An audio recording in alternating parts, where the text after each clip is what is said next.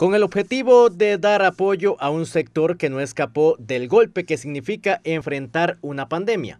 Así se inauguró este martes 20 de abril la Semana del Cooperativismo 2021 en Pérez Celedón. Pasado un poco a la situación que hemos estado viviendo hace un año con el tema del COVID, pues no queríamos dejar pasar este año, esta semana cooperativa, e instamos a los cooperativistas y no cooperativistas pues a unirse a estas relaciones para poder seguir demostrando que el, cooperativismo es esa base esencial del desarrollo de toda comunidad. Básicamente el segundo año, ¿verdad? Sabemos que sí. Este, hay cooperativas que se han visto bastante golpeadas en todos los sectores. Eh, por ejemplo, sabemos que el sector de ahorro y crédito han visto reducidos todo lo que es la parte de, colocación de créditos, recuperación de, los créditos otorgados, pero sobre todo las cooperativas más pequeñas han sido las que han sido más, golpeadas.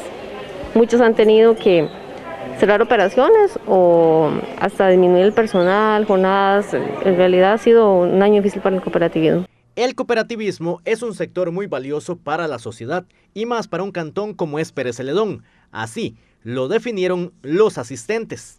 A nivel nacional, por lo menos y a nivel personal, yo inicié el cooperativismo a los 16 años y ha sido fundamental en mi vida porque veo que es la, mejor forma de justicia, de desarrollo y de equidad que tiene cualquier localidad.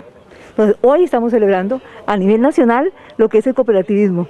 El trabajo del Ministerio de Educación Pública de la mano con el cooperativismo es otro aspecto que destacaron en esta inauguración oficial. Sí, efectivamente, pues eh, tratamos eh, que los centros educativos implementen los principios y los valores del cooperativismo, que es una, una idea que se ha tenido desde hace muchísimo tiempo.